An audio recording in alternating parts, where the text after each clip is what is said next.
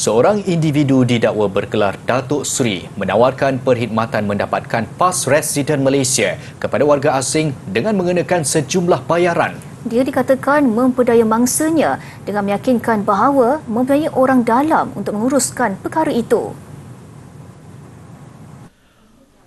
Menurut pengadu seorang pesara swasta, dia menjadi perantara kepada warga asing untuk mendapatkan pas residen daripada lelaki terbabit. Tawaran itu menyebabkan dua warga asing menyerahkan wang berjumlah RM50,000 kepada pengadu untuk dimasukkan ke dalam akaun Bank Datuk Seri berkenaan pada April tahun lalu. Namun, selepas sebulan tiada kabar berita dan janji untuk memulangkan semula keseluruhan wang berkenaan tidak ditepati. Dia pulang balik 3,000 saja. Mr. Seal 3,000 saja. 3,000 tu sekaligus atau macam Dua kali.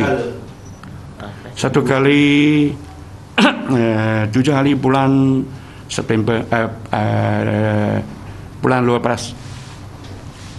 Bulan tujuh eh, apa ya? Tujuh hari bulan luar beras.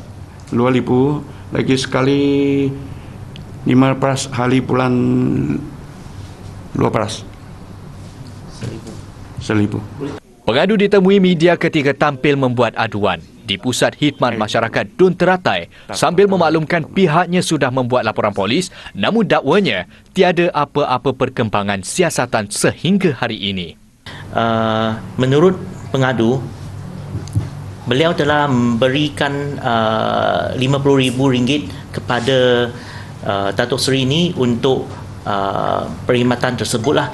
Malah sehingga uh, kalau ikut janji tiga minggu akan dapat permit tersebut tetapi uh, janji tidak di, dapat ditunaikan dan uh,